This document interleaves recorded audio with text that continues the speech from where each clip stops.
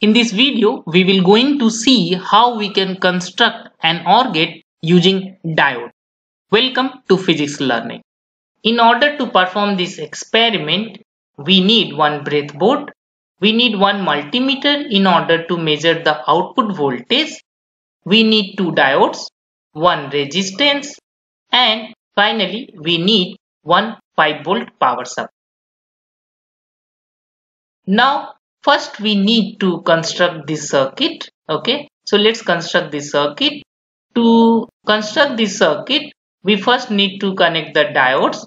We need to keep in mind that p side should be facing the inputs a and b okay? And n sides are connected together. Let's connect the n side using a wire. Now let's Keep the positive terminal in the upper side of the board and black one is in the downside of the board. Now we need to connect the resistance. Let's connect the resistance. One end of resistance will goes to the N side of the diodes and other end will go to ground.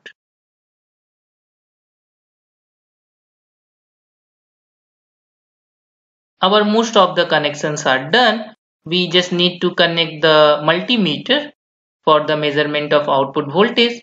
So black point black side will go to the ground and red and the red side will goes to the other end of the resistance. In order to provide the input let's connect the diodes with wire which can be used to provide the input. So here Yellow wire is connected to upper diode which is acting as terminal A. We are going to connect green wire which will act as a terminal B. Okay. Now switch on the power supply.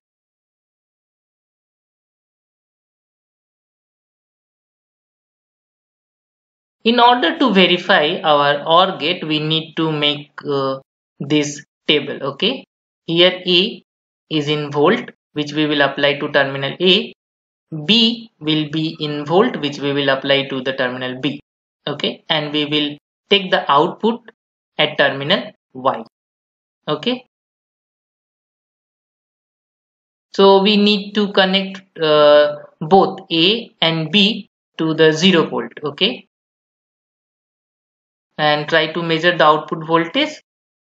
See when the input voltage is 0 0 output voltage is 0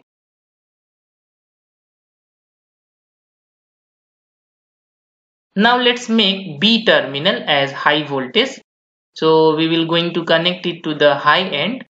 So output voltage is 4.62 a is 0 b is 5 and output is 4.62 let's verify what is the input voltage exactly.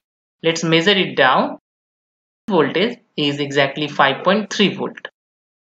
Now you will think of where is rest of the voltage. Output voltage is 4.62 however input voltage is 5.3 so this difference which is of the order of 0.7 volt is the voltage drop across the diode.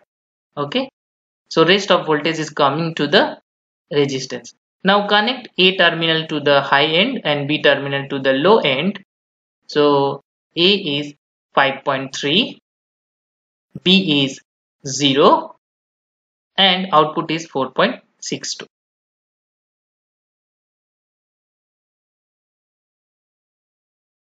Now make both terminal to the high end. A is 5.3 B is also 5.3 and in that case output is 4.66. This is the data for input and output voltage for OR gate which we have constructed. Look at this data carefully.